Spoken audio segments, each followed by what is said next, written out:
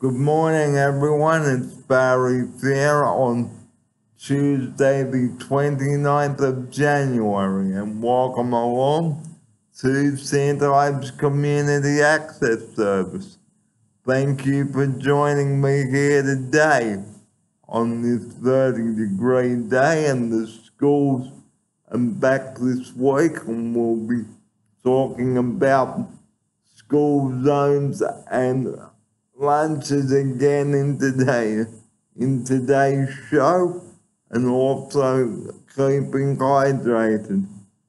And coming up now on today's show, we're going to be talking about four wheel drives and what you need to do in case you take your four wheel drive into the bush.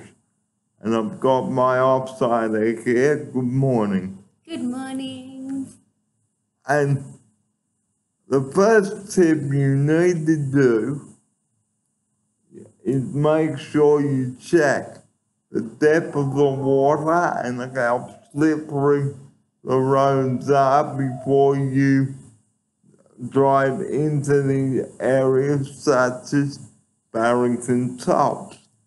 Now, never assume that you can get across a river by yourself because you need to have a two-way radio so that if you are traveling with someone, you need to have a radio and tools to get yourself out. Yeah. And also make sure that you do not try to do this yourself Otherwise, you could roll the vehicle and there'll be a fine to do so.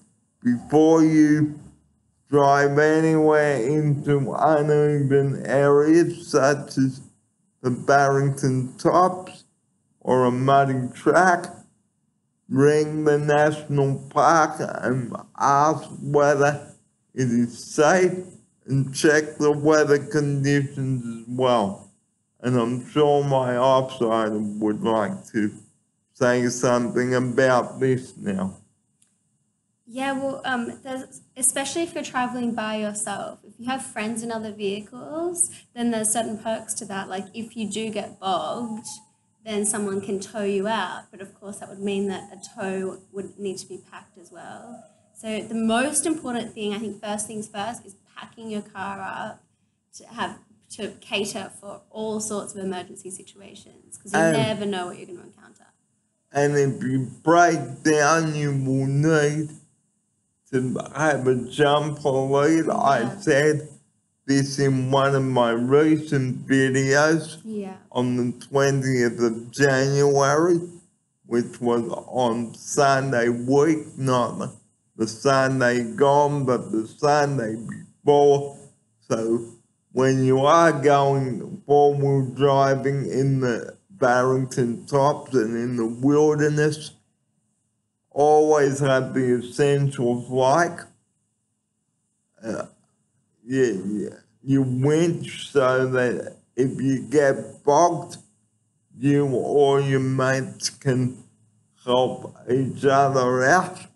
And always have a jumper lead in case your battery is flat and you have to stay in the same spot overnight until you can get out.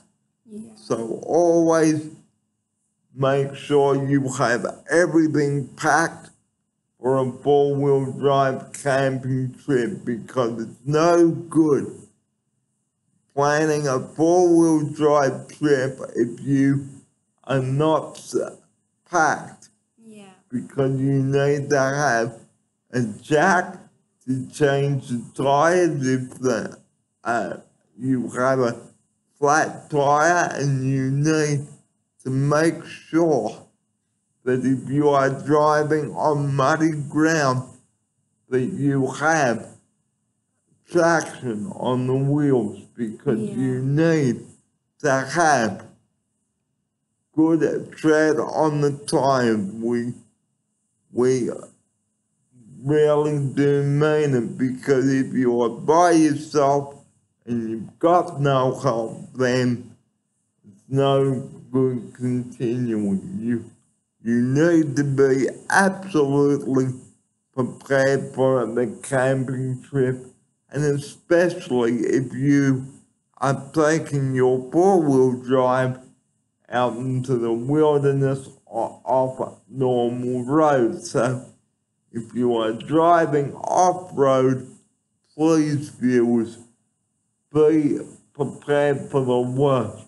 Mm. And especially if you are camping somewhere overnight. So, so I suggest you watch a, this video called Insane Muddy Tracks, a night drive and wicked camping. And this is Barrington tops to the beach and also write down a few points on, on where you are going to camp for the night. Yeah.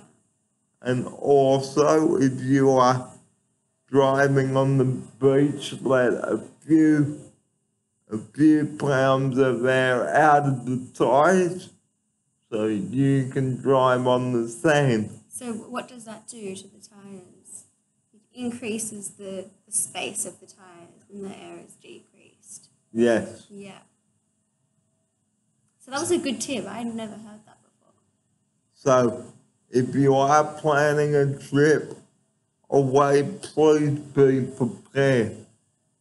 And if it has been raining for a certain amount of days, you need to be aware that the tracks where you drive, where you go with your four-wheel drive, they may be slippery and you might be sliding all over the place. So please be cautious of those conditions if it has been raining and if you see a, see a tree in the middle of the road, stop and get out and try to move it. And also pack a, a chainsaw so that you can move the tree and you can continue. Yeah. And always make sure that you find a suitable place to camp for the night and always make sure that you have plenty of food with you. And if you are carrying perishable foods like milk, try and keep them cold by putting a wet tea towel over them or just um I don't know what to do about milk. And maybe it's important to, because you never know and you have to be prepared for worst case scenarios, maybe it's good to have some canned food And have some canned food and enough water. and enough water until you get to your next destination. And always make sure that enough fuel in the, the vehicles so that you don't run out and carry some fuel in a jerry can, not an old ice cream container because fuel is flammable. Please be careful Yeah, store it safely. and store it safely. Also, a first aid kit, that's pretty important. And well. also a first aid kit in case somebody gets hurt. We were also talking before about um, phone. Did you say a SATA phone?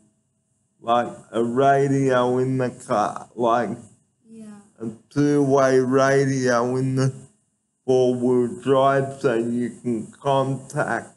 for help. But what about if you're traveling by yourself? uh, a phone, but make sure you don't drive anywhere where you can't get coverage. Yeah, and if you're going to be going out of coverage, then you need a SATA phone. a sat phone. Yeah. Because a camping four wheel drive trip can be fun, but it can also mean danger. Yeah, I mean, our Australian bush can be unpredictable and, and difficult to navigate through. And also, if you are planning to go for a four wheel drive trip, it's always good to have a map of where you are going to go and which is the best route. Because not having a map won't help you or your mates decide on which route you are going to go.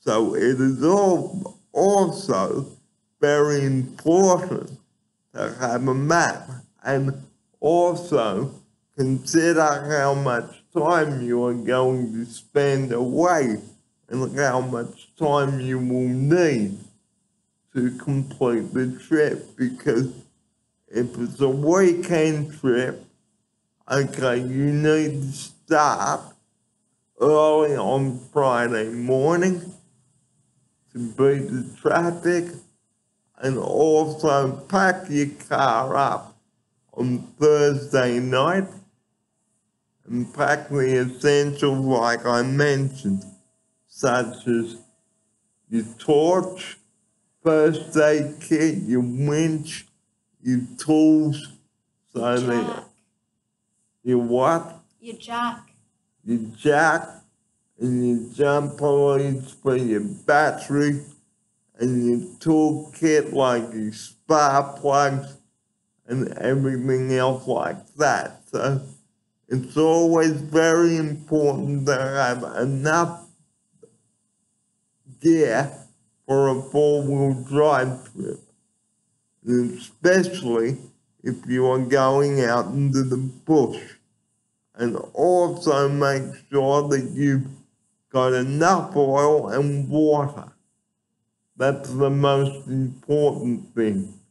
Because you don't want to break down and then suddenly realize, oh no, I forgot to um, check the oil and water. What about the tire pressure? you need to check that as well. And don't go into places where you are likely to run over something and then get a, a flat tire because that is the last thing you would want to have happen here.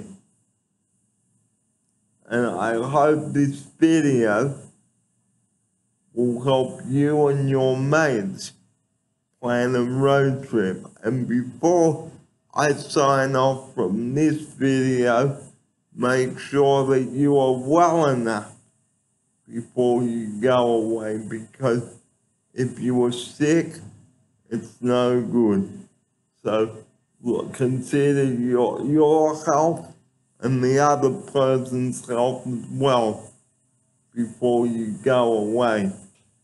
Yeah, and make sure that you are completely hydrated when you are out in the bush because the weather can be quite unpredictable. And also have some wet weather gear in case you go bushwalking.